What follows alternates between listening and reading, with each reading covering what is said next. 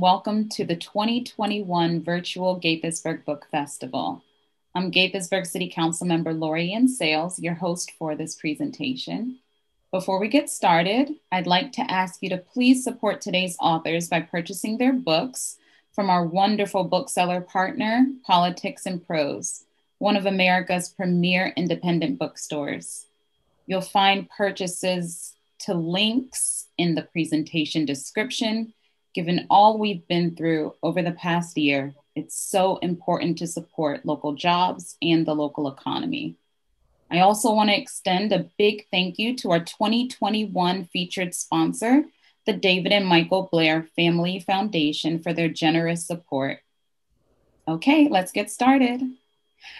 So we have with us today Sandra Beasley, Kim Addonizio, and Katherine E. Young. Three explosive voices tackling not only privilege and love, but also the poetic form. Today, they will explore their singular approach to lyricism in poetry and the joys and challenges of tackling themes like race and sexuality in poetry.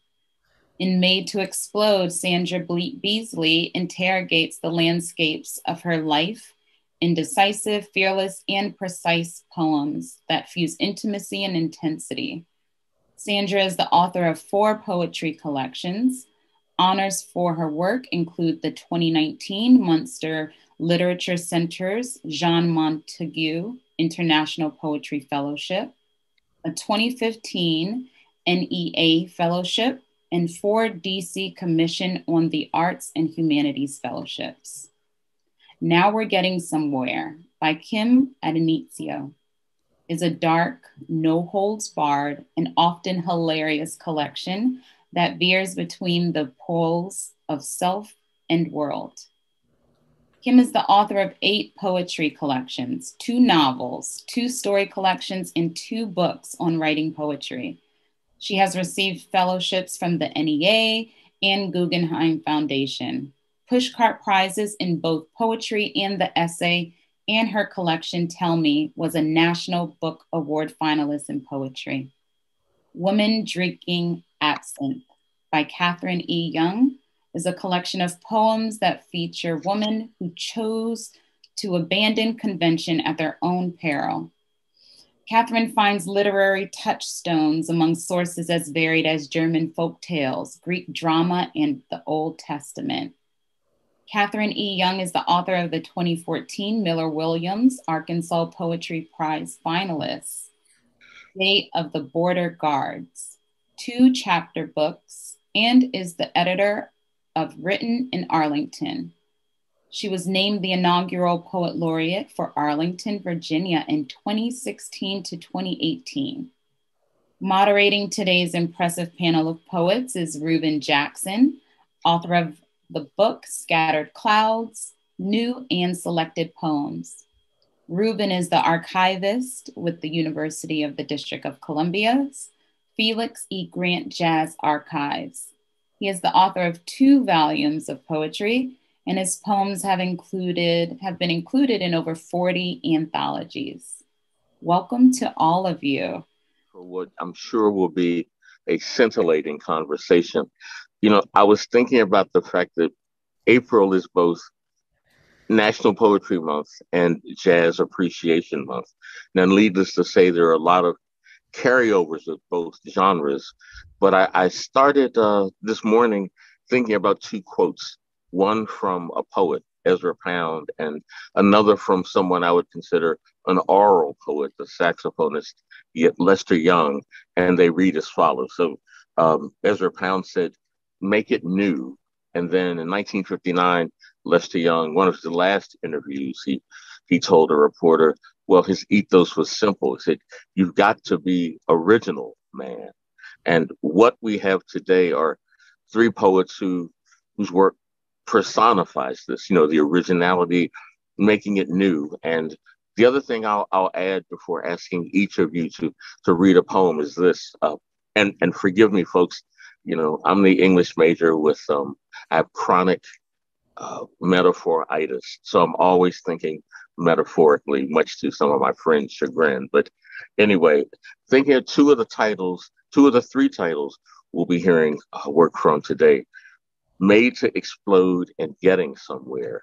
Now, you know, thinking about the possibility within language and what we as writers, uh, saxophonists, try to do is to get somewhere. So, what I'd like to do to get things started here is ask each of you to read one poem uh, from your newest works, and and congratulations on those. They're they're uh, they're wonderful. I'd say more but that'd be profane and that would not be great. But uh, and anyone want to jump in first and and and just get us rolling here? Be great. Um, okay, well, it, I'm gonna. I picked this one. Um, speaking of metaphor, it's got some metaphors in it, but maybe it's a little bit representative of those poles of self and world that were mentioned earlier. So this is The Earth is About Used Up, and it actually takes its title from a line by the poet Paul Guest. The earth is about used up. Like a sodden tampon and no place to throw it away.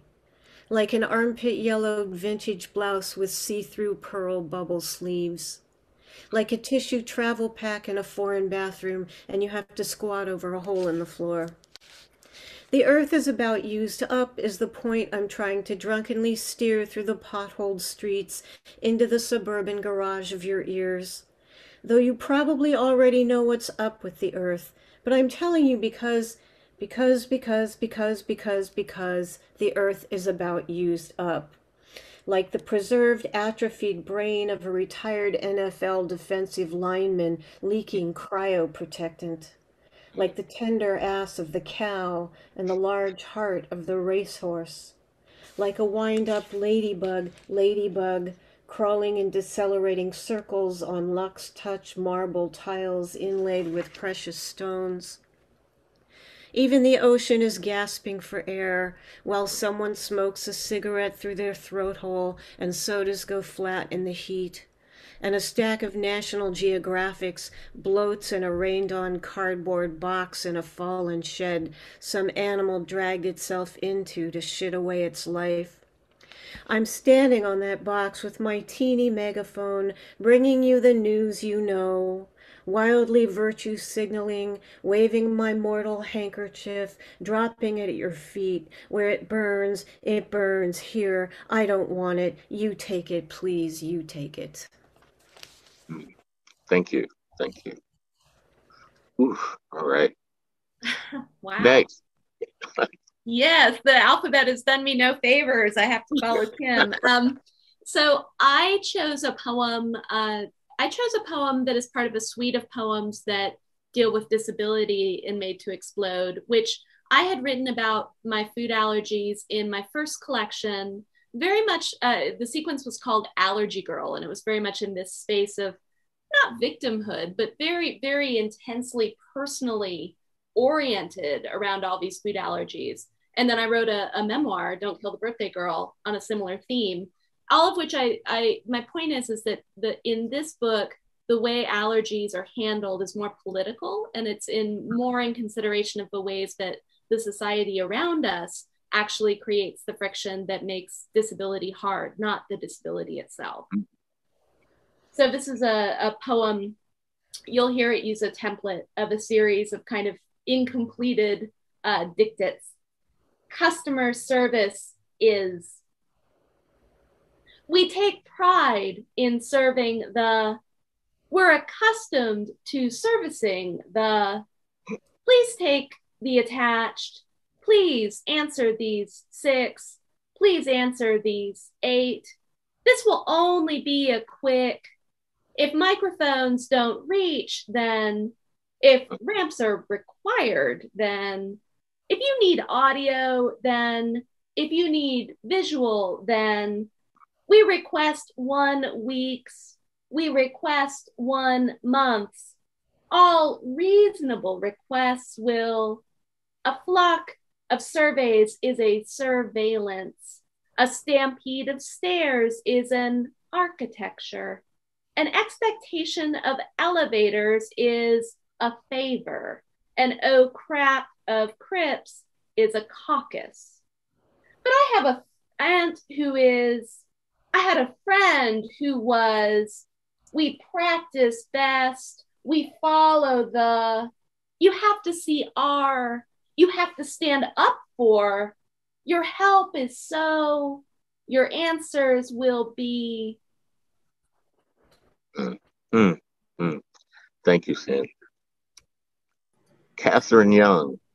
Yes. So uh, I'm going to read yeah. a poem that comes early in the book. It's in six little short parts, and it's called The Bear. The bear marauds inside my garden, plants his tracks among the roses. His scent lingers in the hollies, the yews. I gather broken branches in my arms, pocking hands and face with prickling leaves. Inside the house, my cats sniff anxiously, note the bitter tang of bear on my skin. Mm. press their noses to the window, seeking solace in the glass. Clear eyed frame that holds us back, bladed pain that keeps us safe. Two, the bear says, I'm not dangerous. Let me make a den for you. I'll decorate the walls with shells, spread soft moss across your bed. Songs of falling water will soothe the air. Sometimes, perhaps, I'll kiss your full, pleading lips, though they're not the type to which I'm accustomed. Three, I tell the bear, my prince will come claim me. Clear, uninflected. The bear just laughs. Does his skin smell of musk, his flesh taste of honey? Does his fur warm you in winter? Does he know to smooth your cheek with all his claws drawn in? Four. When he holds me in his arms, I hear roaring in my ear. Five. The bear says, Look closely. There's a ring set in my nose. And though I've stroked his snout a thousand times, I've never before now felt iron beneath my fingers.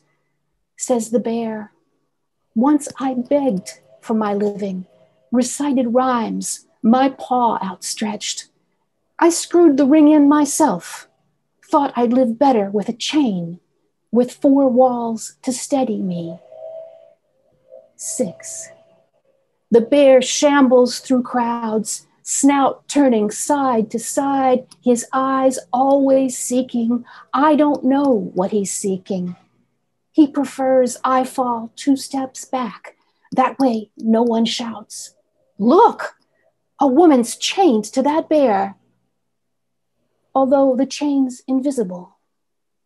Although at night, when he leads me out, no one sees he's a bear. Thank you, Katherine. Well, as you hear, we have very three very distinctive, very arresting voices, and again, I'm I'm playing with the music, you know, Jazz Appreciation Month poetry. The what uh, as Amiri Baraka said, poetry is speech, music, and thinking about themes. Uh, I sent each of you a question, which in part takes a quote from uh, a poem by Amiri Baraka or LeRoi Jones, as he was known at that time. The quote is, Let my poems be a graph of me, G R A P H. And I'm wondering, thinking about your body of work, uh, themes, and I know, Sandra, you touched upon this to some degree a couple of minutes ago, but uh, where do the the questions and the works in your most recent book stand in terms of your uh, well thematic progression as a writer are you did you each distinctively decide to make a concerted effort to address one thing or another? Do this do these things pop up organically and when you're sifting through the manuscript you look up and go oh this is what's going on and i'm sure the answers are as different as as your work is but uh, we'll just we'll go in reverse order here to try to keep things moving. So katherine if you don't mind starting us off that'd be wonderful so this book is a completely different book from the last book. The last book was essentially a love letter to Russia. All the poems were set in Russia or the former Soviet Union, um, and they were. Um, I, don't want to say outsider poems because I had lived there a lot, but in many ways they were observing poems. They were from somebody who wasn't from there, sort of sinking into as much as possible a different culture and, and a different way of being in the world, really, both the Soviet period and then the Russian um, um, uh, government after that, the Russian state after that. So this book is uh, not set in Russia at all. That's a big thematic change. Um, and I would say that this book is more um, it, it's more interested in, in some of the interests that started in that book, but it's it's it's uh, working with folklore. It's working with um, sort of conscious dramatic tropes. Uh, I'm more interested in um, sort of uh, very theatrical um, poems this time. There's a lot of there are some persona poems, and just generally trying to try on different costumes, different settings. Um, the themes of both books, but this book also are is sort of they're sort of timeless. I mean, they are they deal with um, the bad things maybe that people do to one another, um, and they've been doing those bad things to one another since the Greeks and since before the Greeks, and um, and they're also doing them on Real Housewives, and I mean, so the Kardashians, whatever. So. Um, mm-hmm. there's there's really you know no nothing new under the sun but this book is trying to look at those same old things the, the ways that human beings maybe disappoint one another and trying on costumes and and trying to set up uh, tableaus um, just just to kind of play with with ways of looking at human nature mm, mm, great thank you thank you sandra. Yeah i had worked on an anthology of food poems just a couple of years prior a book called vinegar and char. And mm. uh, when you're you know processing everyone else's food poems you invariably get to write some of your own or you see things that you, you wish were written. So i started with uh, i started towards the critical mass of the next collection by writing about food and then realized i couldn't write about food without writing about history and my grandparents generation and also frankly like having lived at this point 20 years uh, to start in virginia now 20 years in dc really interrogating this question of are, do I live in a northern or a southern place? Mm-hmm. What that mix of influences? What what what what was my place even in editing an anthology of southern food poems, right? So I just had to think through these things, and and so that led very naturally into the at, at times difficult topics that that I address in, in Made to Explode. And the only other thing I'll mention is I had spent a brief period of time in Ireland, uh, as was mentioned in my bio, about three months and I, I loved it there. And they place such value on poetry and they place such responsibility on poets to be the statesmen of the country. And I think that actually gave me a kind of charge, a kind of dictate that when I came back, I wanted to write almost ambitiously political poems in a way that I had backed away from uh, in some previous work. So, yeah, so I just decided to let it all hang out, basically. I, I will say, as a Southerner, I was born in Augusta, Georgia, and and uh, when I lived in Vermont, I told people, well, and this is not grammatically correct, but I'd say the Northerner I go, the Southerner I became, and and I think your work, and we'll talk a bit about this a little bit later, but um, as you know, being Southern is not just geographical; it's a you know, it's not just a metaphor; it's a life. And I think your work does a lot in capturing like the nuance and particularly with race, the way a difference between Yankees, as my aunt Bertha would say, deal with race as opposed to, uh, you know, the more let's say deep pride way of things. But but uh, mm-hmm. so I I applaud your courage in doing it, and and uh, and to go back to Lester Young, the original approach to it, and putting your your um, you know your mark on the changing scene. Let's put it that way. Thank you. Kim, how yeah, about you? Uh, I, I love that comment about the graph, the the graph mm-hmm. of the self, because I've often thought of that. You know that every writer, every writer's work is like a map of their psyche, mm-hmm. and you know i mean and thinking about themes you know like the you know, the greeks were obsessed some of the greek poets were obsessed with honor and war and then the metaphysicals were obsessed with their relationship to god and their faith and and the romantics with imagination you know and so so then maybe that's partly the ethos of a time and a cultural you know milieu milieu sounds so formal to say a cultural anyway the zeitgeist whatever you want to call it. Um, you know so i think that um, that any any writer i mean yeah katherine says there's nothing new under the sun. I mean and almost all poets are obsessed with mortality and death because why not? Death is interested in us so. Oh yeah. it's very interested so um, obsessively so. So so I think that um, that my themes have been pretty much the same from book to book. I mean, they've all really about the self and the world and what's my relationship to the suffering of other people and and and um, probably self-destructive self-destructive behavior in there as well. And so um, I think this book just sort of is looking for new ways to talk about those things because mm. it's always that, you know, you don't want to just repeat and repeat the things you've before. You want to try to find a new way. Right. Um, and so so that's, you know, just trying to find new ways of, of voicing that and experimenting yes. with that. So a lot of different of poems, but the themes are absolutely the same, pretty mm-hmm. much. They're um, the the two uh, epigraphs that begin the book. I think cover it pretty well. Leonard Cohen's "Everybody knows the captain lied," and we know which asshole he means, or we mean now because it it always is true somewhere. And yeah. then the other one, is Elizabeth Taylor, with something like, um, you know, put on put on some lipstick, pour a drink, and pull yourself together. And mm. those two things are, I think, the the twin things informing the.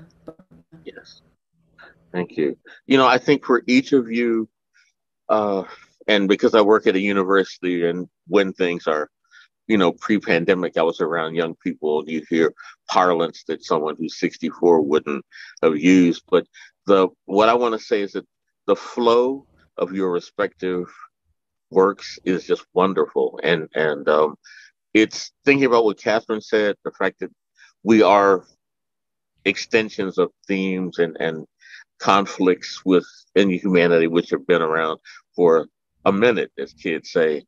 Uh, but I really, again, respect the way in which I think your works are both um, accessible, but um, intriguing in the best way. Like you hear a great pianist in a club when you could, and you'd hear they're playing the blues, but you hear like three or four bars and you go, yeah, that's a variation on a theme to kind of touch upon what, what you just said, Kim. And uh, I'm wondering though, with, you know, this reality that we really are, to use this phrase again, variations, is it daunting? Was it daunting with these particular books to, to think, well, maybe A, I've touched upon this before, or oh boy, I mean, is it scary to, to, to jump into that water knowing that uh, you know we are part of this long tradition as writers and you know anyone can can jump in on this. Oh and to bring lester young who seems to be hovering over me you know he told this same interviewer he said i try not to be a repeater pencil. So i guess i'm also thinking about you know like methodology.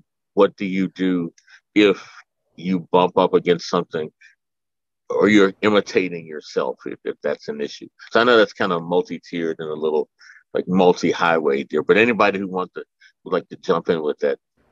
Well, I um I mean I I worked with the prose poem for a fairly extended set of, you know, almost all of a second section, it which mm-hmm. is monuments and memorials. The title convention puts Right. a shorthand for the name of the memorial and then midnight. So there is this kind of implicit speaker standing in front of the Lincoln, the Jefferson, the Titanic Memorial. I mean, some of the some of the more obscure ones. Uh, right.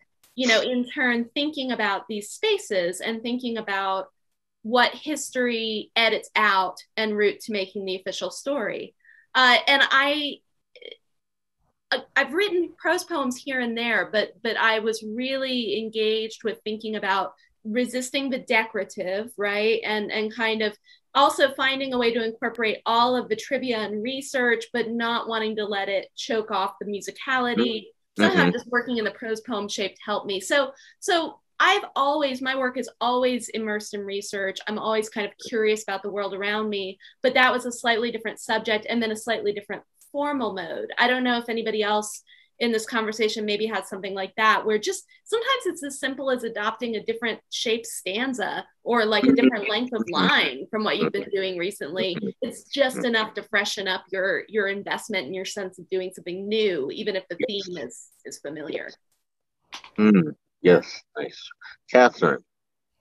One of the things that I did differently this book, and it's it just the book allowed me to do it, was I wrote a number of poems that have to do with sort of science and math which are interests of mine, um, but nothing I've ever pursued uh, professionally. And there's even a little love poem in there to a, a piece of an achondrite, which is a part of which is a kind of meteorite, uh, which fell, which was blasted off Mars millions of years ago and made its way slowly, slowly, slowly across 10 million years and exploded in Egypt in uh, the early part of the 20th century. It was a 22 pound meteorite, achondrite and there's a piece of it in the Air and Space Museum, and you can go in and touch this rock that started on Mars, you know, billions and billions of years ago. Um, and like Sandra, I, I, there's a lot of research in, in my writing as well, but this one in particular was just, you know, just so marvelous, you know, to contemplate. And then I sort of made up the history of the rock and what was going on Earth on Earth at the same time, and I had a lot of fun. Um, there's there's one found poem in the book, which is um, from the philosophical transa- transactions of um, the Royal Society uh, from mm. the 1600s, uh, which was, you know, I was reading through um, their work and what people were thinking about how their brains were working. Um, I'm really interested in in how how the conceptual things that happen with scientists, how they decide, oh, this is a rock and there's a thing buried in this rock, and that thing is the thigh bone of a dinosaur. Um, how do you make that leap if no one's ever done it before? Know, right. so how, how the mm-hmm. mind works. So so in that sense that was new for me this time. Nice. Okay. Yeah. Yeah. I i started thinking of of as you were talking i was thinking poetry is kind of meteorite in a way you mm-hmm. know you just send yeah. it out and it it lands Ooh. somewhere in time and space far from where it started and somebody picks it up and finds the thigh bone of the dinosaur in there mm-hmm. somewhere you know? I, yes. I love that. Um, but I, I think that um, you know, I mean, one of the things, like like I said, you don't want to keep repeating yourself, and there are definitely like poems I took out because they made the same move again, or it was like, okay, yeah, I've got enough of these kind of poems, and I'm I'm still, I think, somewhat in danger of repeating myself in some ways. But um, one thing for me was that I have been tarred and feathered with the um, moniker of a confessional poet, and I I contest that I am a poet of ideas, mm-hmm. and and um, you know, uh, but I think um, some critics, sometimes male critics especially, tend to see women's work as they they tend to look at the at or either look for the the sexual above other things and mm-hmm. their response is kind of gendered in that way so so um, my work often gets discussed exclusively in terms of poems around uh, sexuality ignoring the other pieces of my work or ignoring the ideas in it. So I just want to say I'm a poet of ideas. So I decided to tackle this kind of confessional thing head on in this. And so there's yeah. a section confessional poetry, which is a, a poem spread out over several pages that actually doesn't have a whole lot of words in it, as uh-huh. though each page is almost like a little white confessional that you can walk into and consider the few words that are there. And um, but what it is is is an attempt to sort of discuss this whole notion of the confessional and to talk about it as a mode. Um, which is something that I largely took from Susan Sontag's The Pornographic mm. Imagination. She talks about pornography as a mode of literature and the way writers use some of the structures and conventions of, of porn to explore. I mean, they may be ideas about the erotic, especially in the case of, say, the Marquis de Sade, um, who clearly had those predilections as well as writing about them. But, um, but so I'm just fascinated by that idea and the way that the self can be a persona. So. Um, yeah. I, I, I like to say that I expect to be widely misunderstood once more. But that's what I'm trying to be up to. And that's something where I just went, okay, screw it. I'm just going to hit it head on and say, yeah, this is, you know, make of it, make of it what you will. But I'm trying to make my argument for the, the person in the book not being, not being me, but, but being in a space where you are performing the self.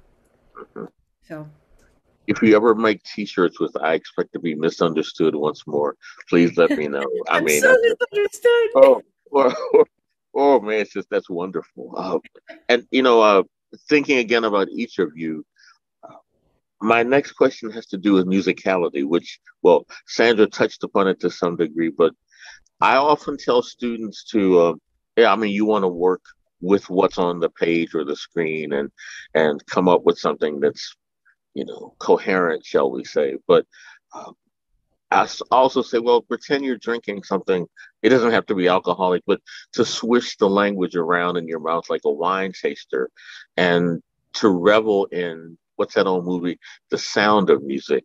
And one of the joys I've had reading your new work is just reading it out loud. You know, like you, you might take a piece of a Bach etude and I take out a saxophone and play it. We're playing the sound, and I'm thinking, boy, that's uh, that to me is just that's like another floor in the building. Of, you know, if, if poetry is a, a building or a you know a skyscraper or a condo or what have you. And my question is, to what extent is the musicality of language uh, near the forefront of, of your your mo when when writing uh is it you know secondary tertiary but but just wondering you know to what extent do you uh, to quote julie andrews again revel in the the sound when crafting crafting work. And uh kim i'll start with you again. We'll just go go in, in uh, the order in which we started if you don't mind. Yeah um young history with as an amateur musician so i've been playing one instrument or another my most my whole life so mm-hmm. and i think that um come really being involved with music before i came to poetry gave me a pretty good ear and um and so i always listen of course i think every poet does listens to the language and tries to make it musical with the with the things have available to us sure. you know whether that's the whether that's high vowels versus low vowels or or the k k k sound of a word or you know i think we all work with that and with line breaks and with um, you know and when things get um, very formal as they sometimes do for some of us writers you know meter is about rhythm and rhyme is about sound. And sound and you know rhythmic sounds against silence is pretty much a definition of music as well.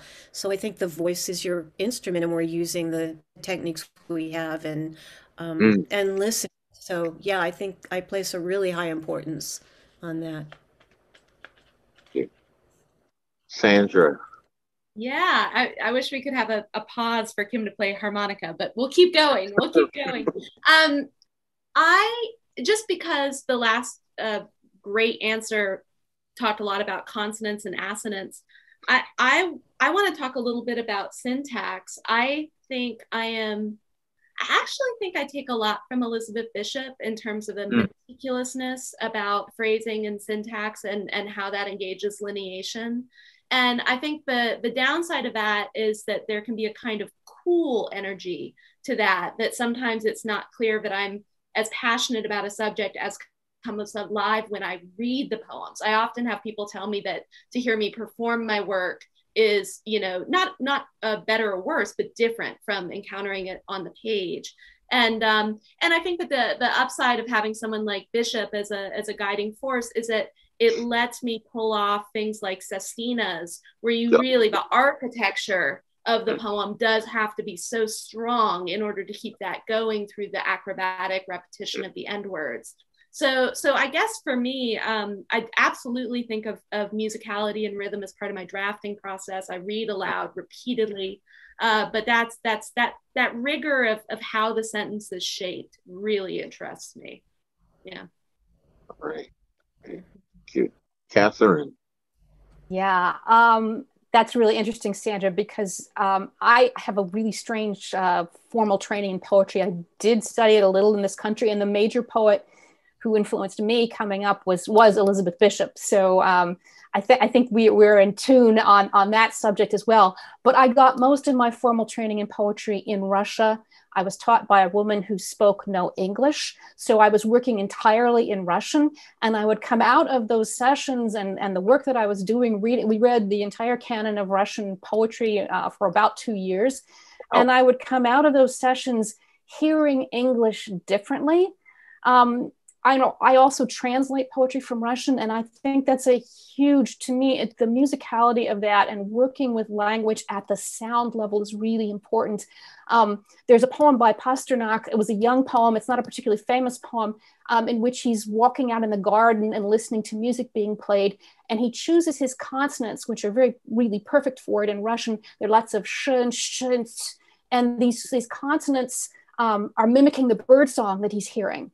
Um, and so all of this uh, sound is, you know, it's it's somewhere in my head. And when I write, like Sandra, I also, you know, work very much aloud. I'm always thinking. Um, I probably the best technique I have is to memorize. Um, and when I memorize, I often find that I've got a poem, it's been maybe even published, and I try to memorize it for a reading, and I find the errors in sound only when I memorize it. Of course, that's not a useful technique when you're when you're composing. But afterwards, I'm like, boy, I wish I had you know done that slightly differently. Um, mm-hmm. so I think I mean it's always a work in progress, right? But but sure. yeah, the the sound is is just I mean it's almost first for me. Um, I, I, hear a phrase or I hear something, and that's what I start with. Mm, okay, wow.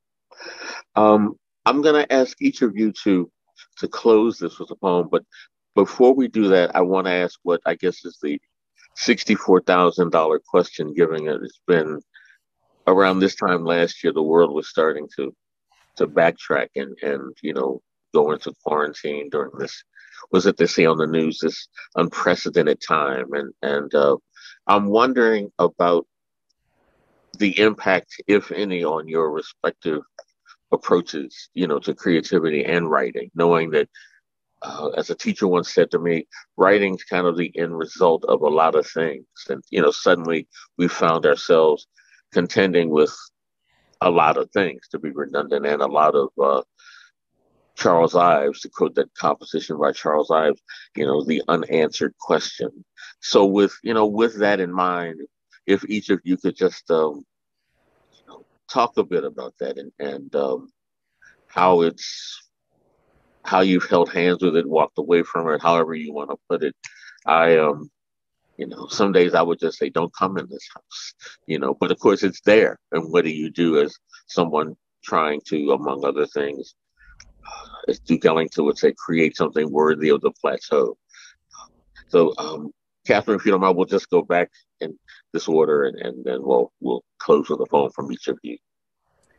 So, I'm not really working on poetry so much. I've been doing a bunch of other things. I had three books come out in the last six months, so I've been kind of running around trying to to um, find outlets for those. Um, mm-hmm. But I would say that for me personally, it's not so much the last year as the last four or five years since the 2016 uh-huh. election um, um, and that was a, it's not that I was not writing political poetry before then. In fact, I was. And as, as Sandra talked about earlier, there's this tradition in Ireland of poets being bards and speaking for people. There's the same tradition in Russia.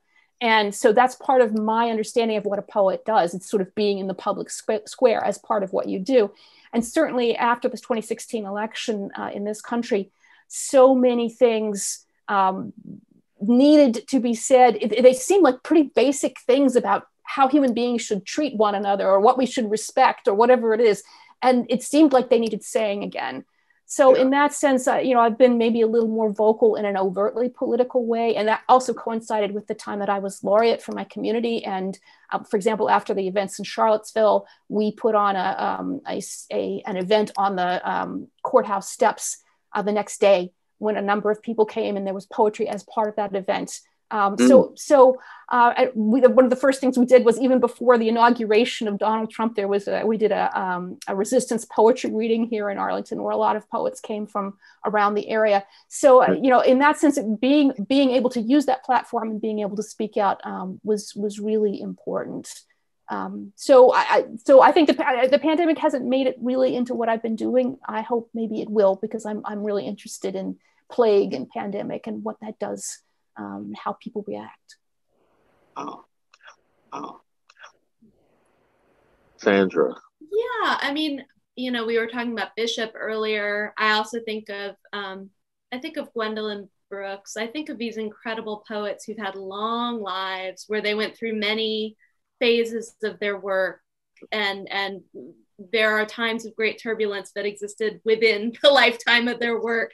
I yep. mean, I hate to say like so so what would I I could tell you that I'm using poetry to process grief and loss and frustration and anger and sex and you know all these wasn't i always doing that? I mean i think in a weird way the last year the last five years because I, especially living where i do six blocks away from the capitol um, you know the, the last five years has changed me profoundly but i'm i'm almost more interested in how that's recentered me as a person. I'll, I'll be interested to see if some of the the actual literal events i mean you might see more plants in my work. I've had to develop a whole different level of relationship with my balcony plants based on the last year. And i don't mean to say that to trivialize all everything no, that's gone yeah. wrong yeah. but you know but isn't that kind of the minutiae right? That's yeah. also what shows up in our poetry.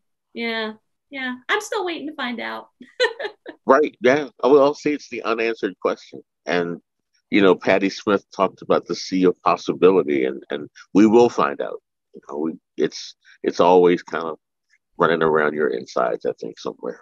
But uh, kim yeah, I think the question is just perennially unanswered. And I, I feel like, Katherine, it's more for me about the past four years. Um, just about this entire book was written between 2016 and 2020 and and partway into 2020 so i think that i think that kind of spurred just some of the the need to do it you know to to write to write more and write within and against and around and through everything mm. that has been been going on because it really it really has felt like a sort of tipping point for the for the country even though a lot of these things as we know have been with us a long time a lot of the systemic um, stuff that has been happening and this kind of it, it seems to have, have just laid it bare for more people the people suffering under it have always known it.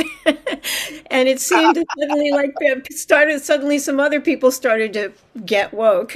So um, you know, which is great to to see it happening, you know. Um, but and I so I think that just has to put some kind of new new pressure on you and it's not always direct, right? You're not necessarily writing pandemic poems, but but mm-hmm. it's it's part of what is impressing itself on your consciousness and your psyche and and sure. we are we are people that process a lot of our experience and our our thinking and questions through language and right. through poems and so that's that's bound to come out not always in a one to one, but it's definitely bound to come out. Right. Yeah. Um, I just want to, I'll say this again, but I, I am so uh, energized and appreciative of your respective approaches to the genre. And, and it is, I always look for, I know we, we deal with the changing same within our maybe our thematic interests, but I think your commitments to originality and um, and soul. You know, a, musician once said jazz was soul and science. And I think you all have done a wonderful job. Well, not just with this book, this most recent book, but throughout of, of merging soul and science. And and it's um I'm biased, but I'm I'm thankful for you all and, and your work and and thankful for this next chorus of, of uh, you know your journeys. As as I mentioned before, I'd like if each of you could could close with a poem from uh, another poem from your your recent works. And, um, that would be, as, as my niece likes to say, that would be beautiful. I'll volunteer. I'll I'll okay, do it because yeah, because I I, I think I'm going to read one of these monument poems. I'm going to read Jefferson Midnight. Uh, you know, since I've already alluded to growing up in the area, first right. going to Thomas Jefferson High School, then to University of Virginia. Jefferson's wow. shadow was designed to loom pretty large, and uh, and it's been really interesting to kind of get some historical perspective. I remember watching Hamilton for the first time, and there's that terrible just one throwaway line about Sally, uh, being of course Sally Hemings, mm-hmm. and I was at the University of Virginia right when the Sally Hemings quote unquote controversy, which was really just a revelation uh, uh, based on DNA, was was at its height. Um, so I think this is a good poem for me to read because it captures on one hand, the wrestling of DC as a capital city, uh, these founding fathers who we are now realizing, if we didn't know before, are so radically flawed. But it's also a very neighborhoody poem, a local poem. So this captures a, a version of what might happen if you were to stumble up to Jefferson Memorial at 2 a.m. on a, on a Tuesday night, Friday night. Jefferson Midnight. In another version of this story, He's a naturalist who dabbled in politics. He reinvented the plow. He joined the American Philosophical Society's Bone Committee, and while trying to prove the great Western lion, gave us our first giant sloth. He shipped a rotting moose to France to demonstrate the greatness of our mammals. He is a father of paleontology, who didn't believe extinction was part of God's plan. He asked Lewis and Clark should they encounter the mammoth to capture one. For months, his seawall has been sinking, the Potomac's mud flats sucking at support timbers. In 1918, and for six summers after, the tidal basin was chlorinated so this bank could become a beach, whites only. Fighters who are drawn to rising heat populate the ceiling of Jefferson's memorial. Once the sun sets, the temperature drops, they lose their grip and fall. Bodies bounce off my shoulders, bodies land in my hair. Guards call this the spider rain. Thank you. Um, okay, so I'll read the. I was going to do something more political, but then I thought that I decided to do this one, which is um, it's actually a monorhyme sonnet, so all of the end words rhyme. Um, it's called High Desert, New Mexico. Temple of the rattlesnake's religion, deluge and heat surge crash of the atom's rupture. Night blackens like a violin, and bright flower falls from the kitchens of heaven. This is where the seams begin to loosen, where you can walk for miles in any direction rabbit, lizard, raven, insect, drone, and almost forget the shame of being human. Smoke tree, sage, not everything is broken. Horses appear at this remote cabin to stand outside and wait for you to come with a single apple. Abandon your despair, you who enter here forsaken. The wind is saying something. Listen. Thank you. Thank you. Katherine. Yes, I am going to read Bar at the Folies Bergère, which is a very famous painting by Manet. Um, and in it, there are oranges. Um, art historians think that uh, um, Manet used oranges in his paintings to suggest a certain kind of availability, uh, that the, uh, to suggest prostitution among the women. Um, we don't know about this painting, but we do know that the, the girl who is at the bar in this painting uh, was the actual bar girl. She walked across the street from the bar, uh, from the Folies Bergère, and posed in Manet's studio. So, bar at the Folies Bergère.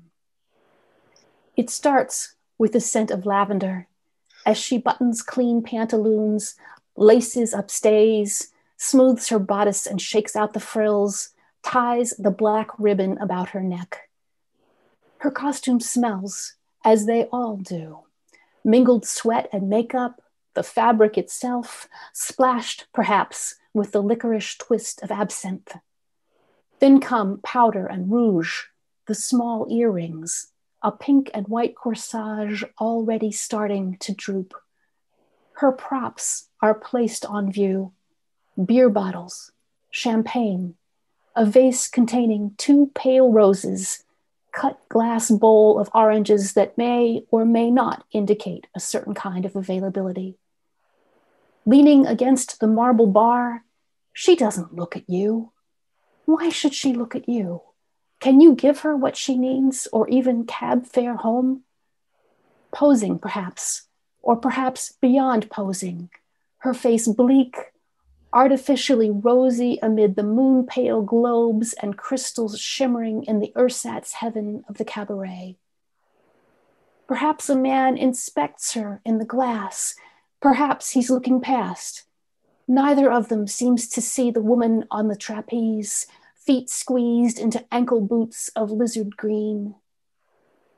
Later, she observes his red gold lashes watches his still young face slacken in sleep, breathes in his scent of cigars, cheap brandy, scent that clings to her fingers like orange oil as she works her nails beneath the skin, methodically stripping the pith to find whatever's left of the fruit's sweet flesh.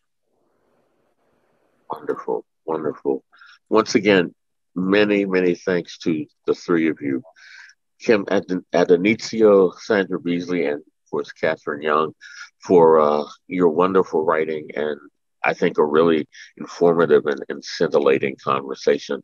And we could go on and on, I think, it's, or as the rappers used to say, we could go on and on to the break of dawn. But readers can do that by getting your works. I'm Reuben Jackson, and your nerdy but sincere host. Thank you all again for uh, for spending time with the readers and with. It's been a joy and a, a real honor to spend some time with you all. Thanks, Reuben.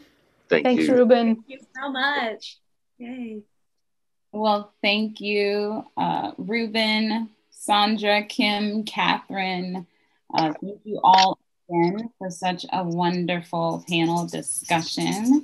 Thank you for going deep when you needed to and being uncomfortable and getting through this discussion. I really appreciate you being here with us today. Um, we have an amazing lineup of programs for both adults and children throughout the month of May. You don't want to miss it.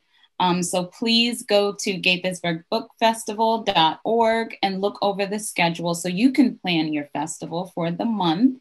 And before you go, we have a special message for you from the amazing author and bookstore owner, Ann Patchett. Enjoy, everyone. Thank you again. I'm Ann Patchett here at Parnassus Books with my dog Sparky, and I want to tell you the importance of supporting your local independent bookstore, Politics and Prose. They are a remarkable partner with this book festival. Now, when a book festival is live, it's really easy. You just go to the table and you buy your book and then you go to the event. But when a book festival is virtual, it gets a little trickier because you're home and you might think, well, you know, I'll just buy the book on Amazon.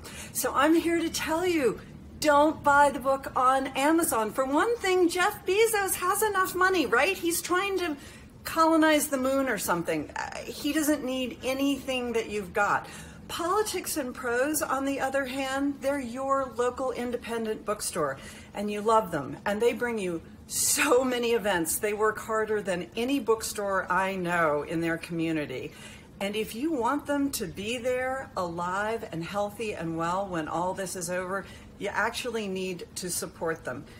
They are the people that are putting a tax base in your community, okay? So you have teachers and police officers and firefighters and when you pay a couple dollars more for a book, you're creating jobs in your community. So enjoy your book festival, support politics and prose. Remember, Ann Patchett and Sparky think it's the thing to do. Shop local. Thank you.